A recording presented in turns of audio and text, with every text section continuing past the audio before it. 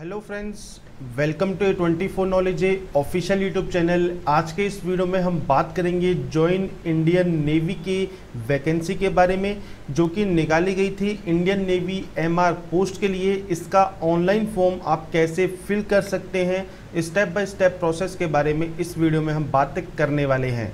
Friends यहाँ पर आपको इम्पोर्टेंट डेट्स दी गई हैं तो 26 सात 2019 से 1 आठ 2019 तक आप इसमें अप्लाई कर सकते हैं। तो इसलिए फ्रेंड्स यहाँ पर पोस्ट डिटेल आपको क्वालिफिकेशन आपकी एज लिमिट सभी आपको वीडियो डिस्क्रिप्शन में जॉब रास्ता डॉट कॉम का ऑफिशियल लिंक मिलेगा।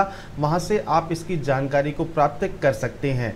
साथ में फ्रेंड्स आपको अप्लाई ऑनलाइन का लिंक भी मिल जाएगा। आप इस पर क्लिक करेंगे और क्लिक करने के बाद फ्रेंड्स आप इसके ऑनलाइन पोर्टल पर पहुँच जाएँगे। यहाँ पर फ्रेंड्स दो ही डिटेल आपको फिल करनी होती है मेनली स्टार्टिंग में जो कि आपका रजिस्ट्रेशन है, एक आपका लॉगिन है। तो फ्रेंड्स यदि आपने पहले कभी ज्वाइन इंडियन नेवी का फॉर्म फिल किया है तो आप इस ईमेल आईडी और इस पासवर्ड के थ्रू यहाँ से लॉगिन कर सकते हैं और अपने आगे की प्रोसेस को कंप्लीट कर सकते हैं। यदि फ्रेंड्स आप न्यू कैंडिडेट हैं, आपने अभी तक रजिस्ट्रेशन नहीं किया है तो आप यहाँ पर इस दिए गए रजिस्टर टैब पर क्लिक करेंगे और उसके बाद आपके सामने दो ऑप्शन आपके सामने ओपन होंगे। एक है आपका आधार वर्चुअल आईडी आप इस पर क्लिक करेंगे और इस पर क्लिक करने के बाद फ्रेंड्स, आप आधार वर्चुअल आईडी पर जो है अपना यहाँ पर क्रमांक डालेंगे, जो कि 16 डिजिट का होता है। यदि फ्रेंड्स, आपके पास आधार वर्चुअल आईडी नहीं है तो आप आधार कार्ड की ऑफिशियल वेबसाइट जो है यू पर जाकर अपना जो आधार कार्ड है, वो डाउनलोड करेंगे और डाउनलोड जैसे आप करेंगे, आपके आधार कार्ड के नीचे आपको वर्चुअल आईडी जो है मिल जाएगी। इसके बाद फ्रेंड्स यहाँ पर जो भी आधार कार्ड से लिंक मोबाइल नंबर है, वो आप यहाँ पर देंगे। इसके बाद ये डिक्लेयर करेंगे, ये कैप्चा कोड डालेंगे और यहाँ से सेंड ओटीपी करेंगे। आपके रजिस्टर मोबाइल पर एक ओटीपी जाएगी और उसके बाद वो ओटीपी वेरीफाई करने के बाद आप फ्रेंड्स यहाँ पर इसकी आगे की प्रोसेस को कंप्लीट कर पाएँगे। एक तरीका आपका ये हो गया। दूसरा तरीका है विदाउट आधार करने का। इसके लिए फ्रेंड्स आपको कोई भी आपके पास जो आईडी है voter ID driving licence pan card या टेंथ या ट्वेल्थ ट्वेल्थ की पासिंग सर्टिफिकेट पासपोर्ट कार्ड वो आप कोई भी यहाँ पर दे सकते हैं। तो कुछ भी आप यहाँ सेलेक्ट कर लीजिए, जो भी आप सेलेक्ट करेंगे, उस आईडी का आपको यहाँ नंबर देना है। उस आईडी का आपको यहाँ स्कैन कॉपी देनी है। उसका फ्रेंड्स आपको यहाँ पर अपलोड प्रूफ देना है। आपका जो एड्रेस प्रूफ है, इसके बाद यहाँ से आपको जो है ये इमेज जो दी गई है कैप्चा कोड जो दिया गया है, ये आपको देना है और यहाँ से फिर आपको इसको सेव कर लेना है। इसके बाद फ्रेंड्स आपको यहाँ पर आपके नाम की एंट्री करनी है तो फ़र्स्ट नेम जो है आपका यहाँ पर ज़रूरी है। ये आपको यहाँ पर मैंडेटरी है, देना होगा जो कि आपकी टेन की मार्कशीट में आपके एंटर है। यदि आपके पास मिडिल नेम है, आपके पास लास्ट नेम है, आप उसकी एंट्री कर सकते हैं। नहीं तो आप इसको ब्लैंक छोड़ देंगे। इसके बाद है आपका मोबाइल नंबर का ऑप्शन। तो यहाँ पर आपको आपका एक्टिव मोबाइल नंबर देना है। इसके बाद आपके फादर या मदर नेम आप यहाँ पर दे सकते हैं। इसके बाद फ्रेंड्स अगर बात करें नेक्स्ट ऑप्शन की तो वो है आपके गार्जियन नेम। यदि फ्रेंड्स आपका कोई गार्जियन है तो आप उसका नाम भी यहाँ मेंशन कर सकते हैं। नहीं है, इसको आप ब्लैंक छोड़ देंगे। इसके बाद पैन कार्ड का ऑप्शन है, देना चाहते हैं तो आप दीजिए, नहीं तो इसको भी ब्लैंक छोड़िए। यहाँ पर डेट ऑफ़ बर्थ का ऑप्शन है तो आप यहाँ पर दिए इस कैलेंडर से आपकी जो भी डेट ऑफ़ बर्थ है वो आप सेलेक्ट कर सकते हैं। इसके लिए फ्रेंड्स, आप ये ऑफिशियल जो नोटिफिकेशन है वो देख सकते हैं, या फिर आप इसमें रजिस्ट्रेशन करना चाहते हैं सिर्फ़ तो आप रजिस्ट्रेशन भी कर सकते हैं आपकी गिवन डिटेल के ऊपर, और जो भी आपकी जो क्वालिफिकेशन है, आपकी एल है, उसके हिसाब से जो भी ऑन वैकेंसी होगी, वो आपको वहाँ पर शो कर देगा। इसके बाद है आपकी नेशनलिटी तो यहाँ से आपकी नेशनलिटी आप सेलेक्ट करेंगे, यहाँ से आपका डोमेंशल जो भी है, वो आप यहाँ से सेलेक्ट करेंगे मतलब आप कहाँ के निवासी हैं। इसके बाद जेंडर का ऑप्शन है, इसके बाद मेरिटल स्टेटस का ऑप्शन है तो ये आप यहाँ पर फिल कर सकते हैं। आइडेंटिफिकेशन मार्क में आपके शरीर पर कोई भी विजिबल आइडेंटिफिकेशन मार्क है तो वो आप यहाँ दे सकते हैं। आप एक देना चाहें या दो देना चाहें, एक आपका मैंडेटरी है। अब अगर आपके पास नहीं है एक भी तो आप यहाँ पर नो मार्क की एंट्री भी कर सकते हैं। इसके बाद फ्रेंड जो सेकंड ऑप्शन है, वो है आपके एजुकेशनल डिटेल्स का। तो फ्रेंड्स यहाँ पर जो है आपको हाईएस्ट क्वालिफिकेशन आपकी सेलेक्ट करनी है कि आपकी जो हाईएस्ट क्वालिफिकेशन है, वो क्या है, वो आप यहाँ पर देखिए, एक बार आप यहाँ पर सेलेक्ट कर लेंगे। तो यहाँ पर हम अभी इसी फॉर्म के बारे में बात कर रहे हैं तो यहाँ पर टेंथ पास आपसे मांगा गया है तो हम यहाँ पर सिर्फ़ टेंथ ही सेलेक्ट कर लेते हैं। इसके बाद है एडिशनल क्वालिफिकेशन यदि आपके पास कोई एडिशनल क्वालिफिकेशन है तो वो भी आप यहाँ से सेलेक्ट कर सकते हैं। नहीं तो आप इसको ब्लैंक छोड़ देंगे। इसके बाद है अकाउंट डिटेल का ऑप्शन तो इसमें देखिए आपको यहाँ पर आपको मेल आईडी देनी है तो आपकी मेल आईडी दे दीजिए। इसके बाद यहाँ से आपको पासवर्ड जनरेट करना है। तो पासवर्ड फ्रेंड देखिए, आपका छः कैरेक्टर कम से कम और मैक्सिमम बीस कैरेक्टर का होना चाहिए। एक लोअर केस एक अपर केस और एक स्पेशल कैरेक्टर और एक डिजिट आपको एंटर यहाँ करनी होगी। तो फ्रेंड्स यहाँ पर पासवर्ड आपको कैसे जनरेट करना है? तो देखिए आपको पासवर्ड आप ऐसा जनरेट कर सकते हैं कि आपका एक अक्षर या दो अक्षर आप जो भी आप कैपिटल रखना चाहें, इसके बाद आपको कम से कम एक यहाँ पर स्पेशल कैरेक्टर देना होगा, एक आपको अल्फ़ा न्यूमेरिकल वर्ड देना होगा। तो ऐसे फ्रेंड्स आप यहाँ पर अपना पासवर्ड जो है जनरेट कर सकते हैं।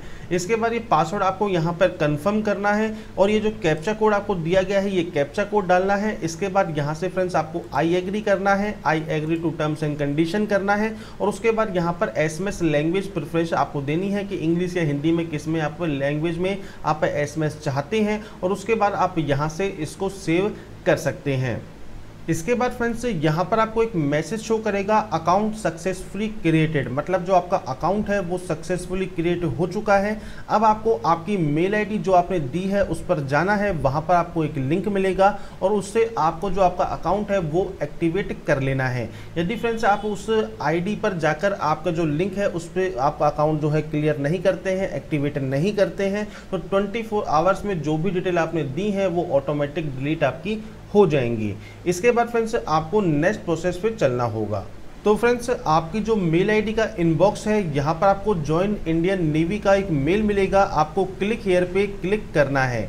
इस पर क्लिक करने के बाद फ्रेंड्स, आपकी जो वेरिफिकेशन प्रोसेस है, वो स्टार्ट हो जाएगी और आपको यहाँ पर मोबाइल वेरिफिकेशन करना है। इसके लिए फ्रेंड्स, आपको यहाँ पर एंटर ओटीपी करनी है, जो कि आपके मोबाइल पर आई होगी और ये जो कैप्चा कोड है, ये डालकर आपको यहाँ से इसको वेरीफाई कर लेना है।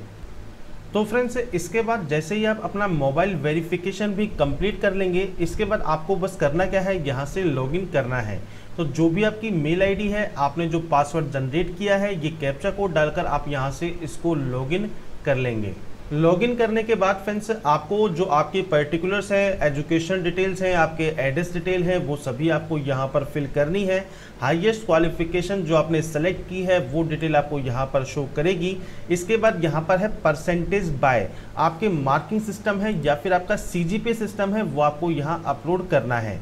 यदि फ्रेंड्स आप सी सिस्टम आपका है तो आप टेन डॉक्यूमेंट ऑफ़ कन्वर्जन आपको यहाँ पर अपलोड करना होगा। तो आपकी मार्कशीट है, उसमें जो फॉर्मूला लिखा हुआ है, वो आपको यहाँ पर वो स्कैन करना है और उसके बाद आप इसको यहाँ पर अपलोड कर सकते हैं, जो कि आपको इंस्ट्रक्शन में मिल जाएगा। तो आपकी मार्कशीट के आगे या पीछे आप देख सकते हैं कहाँ पर वो कन्वर्जन का जो है डिटेल लिखी हुई है। उसके बाद आप उसको स्कैन करके यहाँ पे पीडीएफ में इसमें अपलोड कर सकते हैं। पर यदि आपकी मार्किंग स्कीम है तो आपको करना क्या है यहाँ पर? आपका टोटल मार्क्स आपको यहाँ बताने हैं कि आपके टोटल मार्क्स कितने का आपका एग्ज़ाम हुआ था और आपने कितने नंबर इसमें गेन किए थे। जिससे फ्रेंड्स आपकी जो परसेंटेज है वो ऑटोमेटिक कैलकुलेट होकर नीचे आ जाएगी। इसके बाद यहाँ पर फ्रेंड जो ऑप्शन है वो है आपकी सीरियल नंबर ऑफ़ मार्कशीट तो आपकी जो मार्कशीट है उसका सीरियल नंबर आपको ऊपर की साइड में लेफ़्ट हैंड साइड में मिल जाएगा। या फिर आप कहीं और देख सकते हैं, यदि आपके किसी अदर बोर्ड में जो एग्ज़ाम है, वहाँ पर कहाँ पर लिखा होता है तो आपके सीरियल नंबर जहाँ पर भी लिखे हैं मार्कशीट में, वो आप यहाँ एंटर करेंगे। इसके बाद स्टेट का नाम आपको देना है कि किस स्टेट ने वो एग्ज़ाम आपका कंडक्ट किया है।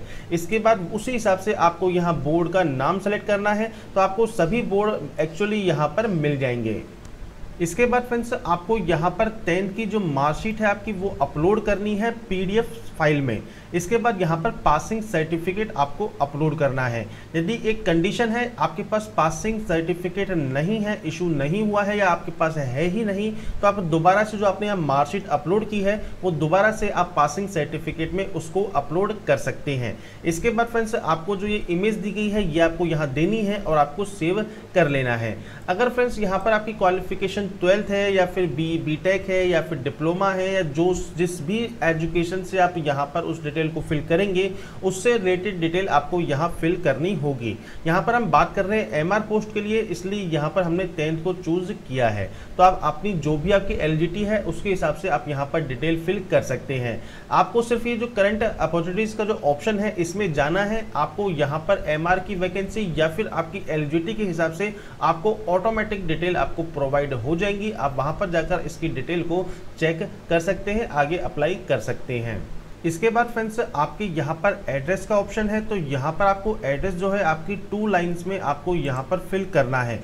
तो आपका जो भी एड्रेस है, जो आप लिखते हैं, वो आप यहाँ पर फिल करेंगे फ़र्स्ट लाइन में और उसके बाद आप यहाँ पर सेकेंड लाइन में भी उसको लिख देंगे। इसके बाद यहाँ से आप, आपका जो स्टेट है, वो आप स्टेट यहाँ से चूज़ करेंगे। इसके बाद यहाँ से आप करेंगे आपका डिस्ट्रिक्ट चूज़ और आपका जो पिन कोड है, वो आप यहाँ पर कर देंगे मैंशन इसके बाद फ्रेंड्स यहाँ पर आपका जो मोबाइल नंबर है, आपकी जो ईमेल आईडी है, वो आपको यहाँ शो करेगी। अगर इसके अलावा कोई अदर ईमेल आईडी आप देना चाहते हैं तो आप दे सकते हैं। नेक्स्ट ऑप्शन है कॉरेस्पॉन्डेंस एड्रेस का। यदि आपका परमानेंट और कॉरेस्पॉन्डेंस सेम है तो आप इस सेम एस पे क्लिक करेंगे। अलग अलग है तो आप इसकी मैनुअली अलग अलग एंट्री कर सकते हैं। इसके बाद फ्रेंड जो ऑप्शन है, वो है आपके, देखिए पासपोर्ट साइज़ फोटोग्राफ का और एक है आपके सिग्नेचर का और एक है आपका रेजिडेंस प्रूफ या डोमिनशन का तो आपको ये डिटेल आपको यहाँ फिल करनी है। तो ये जो फ़ोटो एंड साइन है, आपका जेपीजी इमेज में रहेगा और आपका जो रेजिडेंस प्रूफ है डोमिनशन सर्टिफिकेट है, ये आपका पीडीएफ में रहने वाला है।